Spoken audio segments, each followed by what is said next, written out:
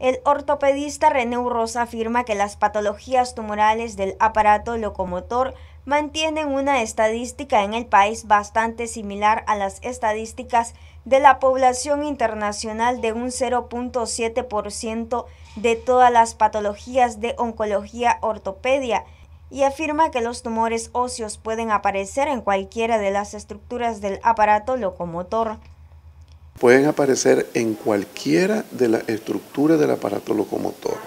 Huesos, eh, cartílagos, tendones, músculos y estructuras ligamentarias. Entonces esta parte de oncología ortopédica es una de las partes más importantes de la especialidad.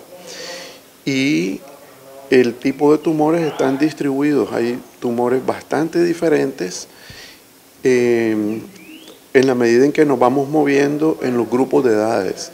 Hay tumores que son muy específicos para los niños, otros muy específicos en la etapa joven y otros bastante frecuentes solamente en edades superiores y en la tercera edad.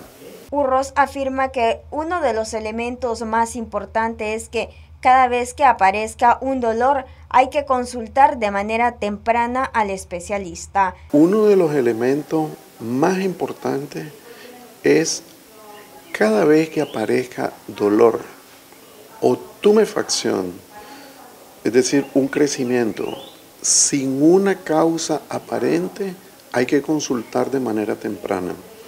Los ortopedistas siempre tenemos en la mente la búsqueda de los tumores, siempre, porque debe ser una patología que no nos sorprenda. Debe ser una patología que diagnosticada de manera temprana debemos tener éxito en el manejo de, de estos problemas. Gracias, Darlene Telles.